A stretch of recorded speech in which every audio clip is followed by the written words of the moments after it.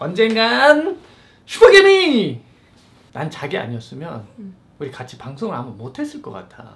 왜? 자기는 별로 이런 거에 영향을 안 받잖아. 그냥 나만 믿는 거지. 응.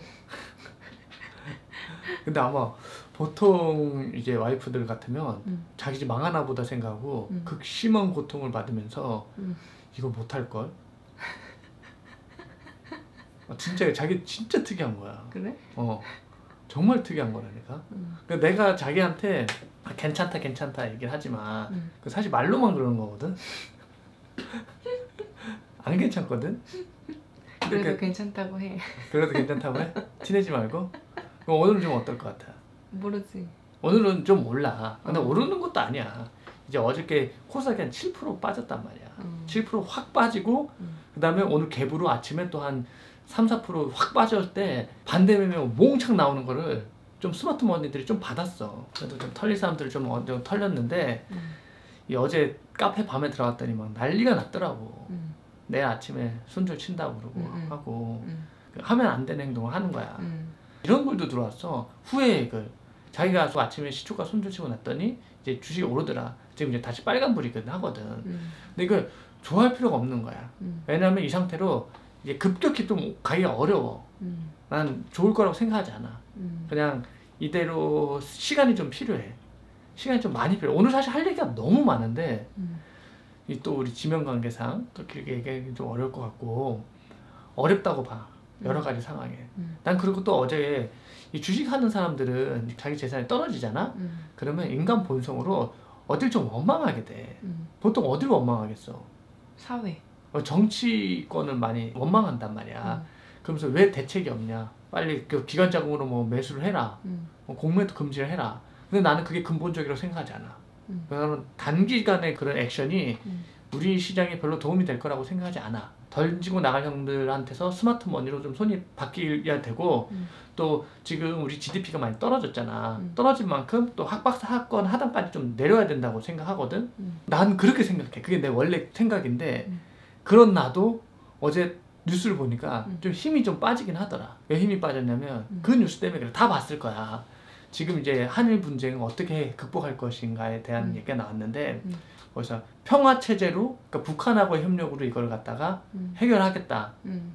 어? 단숨에 일본은 우리가 넘어서겠다는 얘기를 딱 한 거야. 음. VIP 형이 음.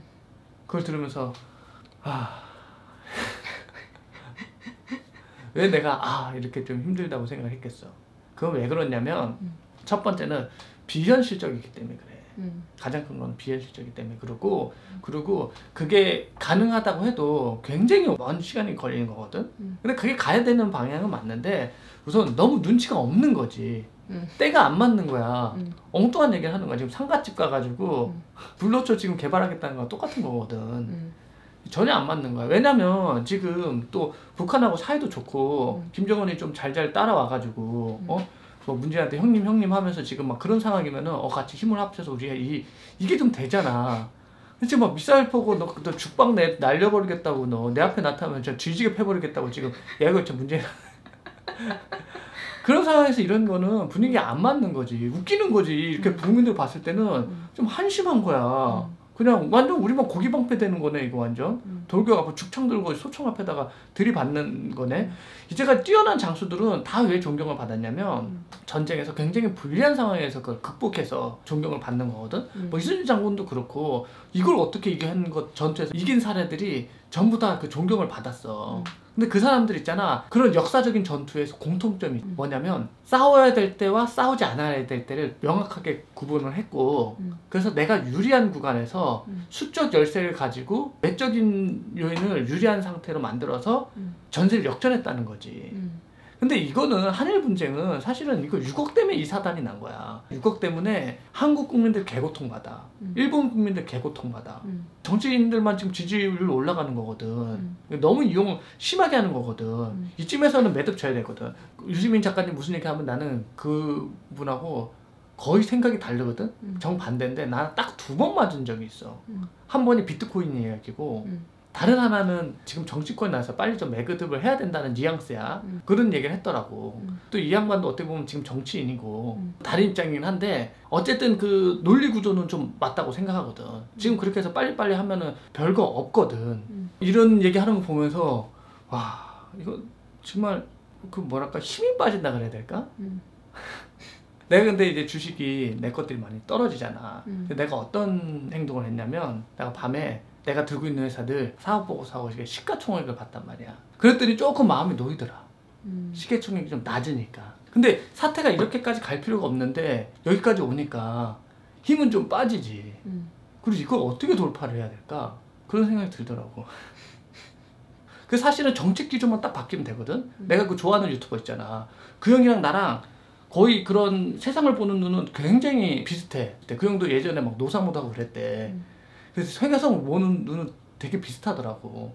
정책 기조만 바꾸면 우리가 좋아질 수가 있거든. 음. 근데 이제 정책 기조가 안 바뀔 것 같은 거지 지금 이런 상황에서는 음. 단순히 지금 막 이거 떠받치기 이게 문제가 아니라 공매도 문제가 아니야. 공매도 금지한다고 되는 게 아니야. 공매도 금지하고 그러면 우리나라가 국가 신뢰도 이런 거에 또 여- 영향을 받는 거거든. 음. 그, 그런 거야. 근데 아직은 그 펀더멘털적으로 기업의 이익이 막, 막 토막 나는 그런 단계는 아니야. 올해 이번에 2분기 실적 나오는 거 보니까 괜찮아. 그거 보면서 이제 그냥 참는 거야. 뭐랄까 기업의 퍼만 조금 더 높아졌다고 보면 돼. 기업이 좀 더더 싸졌기 때문에 우리의 저 투자 정석으로 보면은 투자를 해야 되는 건데 음. 그런 얘기 들으니까 조금 힘이 빠지는 거지. 이거 내가 미국인이면은 걱정할 필요가 없는 거야. 이거는 내가 한국인이기 때문에 이런 걱정을 하는 거거든. 음. 그래도 지금 이 순간에서 해야 될 거하고 하지 말아야 될 게 있어. 그게 뭐냐면 내가 예전에 어떤 보수 유튜버가 한 1183원에서 사라고 했다고 그건 아니라고 얘기했잖아. 음. 이거 이거 어떤 사람들이 이해할지 모르겠지만 지능이 똑똑하면 이해할 거야. 지금 그보다 더 올라갔지. 음. 이건 이기고 지고의 문제가 아니야. 자기가 무슨 A라는 종목을 얘기했어. 그리고 내가 B라는 종목. 나 이거 져도 돼. 음. 이거 지고 이기고 문제가 아니기 때문에 져도 되는 거야. 음. B라는 종목을 얘기를 했어. 내가 어느 게 더 올릴지 얘기를 한단 말이야. 음. 누가 이길 확률이 몇 퍼센트겠어? 50%. 거의 50%야. 거의 50% 의미가 없는 거야. 음. 근데 이렇게 단기 꼭지에서 있잖아. 지금도 달러로 사야 된다고 얘기를 하는데 달러가 이렇게 급등했을 때 있잖아. 음. 이거를 더 사는 거는 카지노가 어떻게 돈을 버냐면 고객은 49% 카지노는 51%야 승률이. 음. 그러면 한번 하면은 거의 반반이겠지. 내가 이겼다 할 수도 있겠지. 음. 근데 내가 한 천 번 게임을 했다고 봐. 음. 그러면 무조건 자기가 돈을 버는 거라니까. 알겠지? 음. 지금 가격이 올랐잖아. 여기서 코를 외치는 거는 맞는 행동이 아니라는 거야. 이게 사람의 그렇게 본성이 있대. 딱 보면 이제 투자를 많이 안 한 사람들이 이제 그런 행동을 하는데 오르잖아? 그러면 올라가서 목소리가 점점 점점 세져. 신라젠이 그렇게 막 올랐잖아. 신라젠 꼭대기 있는 사람 올라가는 그 수익, 수익 낸 사람은 자기가 세상이 최고야. 봐라 신라젠 봐라. 니들이 뭐냐. 그렇게 된다니까. 어? 그리고 신라젠 들어간 사람은 더 오를 거를 생각해서 돌아가지. 왜 이런 현상이 생기냐면 자본 생태계에 대한 이해도가 없어서 그래. 자, 위안화가 달러당 7위안을 올라갔어. 음. 위안화 가격이 떨어졌단 말이야. 음. 위안화 가격이 떨어지면은 좋은 거야 나쁜 거야? 중국에. 음. 좋은 거? 위안화 가격 떨어지면 좋은 거야. 좋은 거야? 어, 이제 많이 늘었어. 50% 확률. 중국한테 좋은 거야. 음. 근데 봐 해석을 거꾸로 하잖아. 자본 생태계는 이런 거야. 개미가 많아지잖아. 그럼 개미를 잡아먹는 참새가 또 많아지잖아. 음. 참새가 또 많아지면은 독수리가 또 많아져. 음. 그 독수리가 많아지면 참새 개체가 줄어. 음. 참새가 늘어나지? 그러면 개미 있는 개체 수가 또 좀 줄겠지? 근데 참새가 늘어나는 그 타이밍에 독수리 또 많아지겠지? 그럼 참새가 또 줄겠지? 그러면 맞춰진단 말이야. 음. 나라가 안 좋을 걸로 예상이 되니까 환율 오르는 근데 환율 오르는 거는 지금 봐 환율 전쟁이나 그러잖아 우리 통화값 올려주세요 하면서 싸우는 애들 있냐 없어요. 음. 다 자기 통화를 낮추려고 한 거야. 음. 그래서 봐 위안화 가격이 올라갔으니까 아, 이게 좀 복잡한 게 단순한 환만 얘기하는 거야. 이게 얘기하면 너무 길어지는데. 위안화 가격이 오르니까 중국 망했네 그런단 말이야. 중국이 뭐 위기고 망했네라고 얘기하는데 미국 그러잖아. 근데 환율 조작국으로 지정. 너의 통화 가격 올려 얘기하잖아. 음. 그게 좋은 거면은 봐 여기서 나쁜 걸로 인식을 했는데 현상을 갖다가 여기서는 반대로 내리라고 얘기하잖아. 우리가 그러니까 환율이 올라가잖아 그러면 기업들이 이제 자동차나 반도체 쪽에서는 이익이 올라가. 약간 보약 먹는 그런 셈이 되는 거란 말이야, 지금은. 그리고 봐. 우리나라 환 가격이 떨어지잖아? 파라다이스 같은데 사람들 더 많이 놀러 와. 터키화가 막 폭락을 한 거야. 그래서 주변에 바로 가깝지 유럽 애들이잖아. 우르르 가가지고 쇼핑하면서 유로화가 왕창 들어왔다니까. 그러면서 환이 다시 잡았다니까. 그러면 1,300원, 1,400원 이렇게 되면 우리나라 자산 값어치나 이 주식 값어치가 굉장히 떨어지는 거야. 싸지는 거야. 우리나라의 서비스도 싸지는 거, 경쟁력이 싸지는 거라니까. 거꾸로 해석하면 안 된다니까 사람들이. 내 얘기 뭐냐면 올라가면 올라갈수록 다시 또 좋아서 내려갈 건데 여기서 내가 이 얘기 오늘 왜 이렇게 길게 하냐면 지금 겁먹은 상태에서 그거 보면서 그거를 갖다가 따라할까봐 그래. 그게 바른 방법이 아니다. 단기간에 뭐 이렇게 좀 올라갈 수 있는데 그게 지속적으로 내 재산을 불리는데 도움이 안 된다는 거를 아마 해보면 느낄 거야. 그게 안 된다는 거를. 그 형이 되게 투자 외적인 거는 내가 좋아하는 형인데 지금 강남 아파트는 더 오른다고 하고 외곽 쪽은 더 떨어진다고 하잖아. 근데 여기에 뭐가 맹점이 있냐면 투자를 안 하는 사람들은 가격을 몰라. 내가 아까 얘기했잖아. 마음의 평안을 얻기 위해서 뭐 봤다고? 사업 보고서 보면서 이 회사 상황을 봤다 그랬잖아. 그거 보면서 아, 이 회사가 지금 돈도 잘 벌고 있구나. 이걸로 내가 안착을 했잖아. 근데 투자 초보들은 그걸 못 보는 거야. 자, 강남 아파트 같은 경우도 그런 거거든. 강남의 아파트가 되게 여러 가지야. 근데 새 아파트 같은 경우는 슬슬 이제 실가치보다 거품이 껴있는 게 보여. 내가 얘기했잖아. 나 옛날 강남 아파트 때문에 논쟁이 있었다니까. 나는 올라야 된다 생각하고 상대방은 폭락해야 된다고 하니까. 우리 딸 알았어?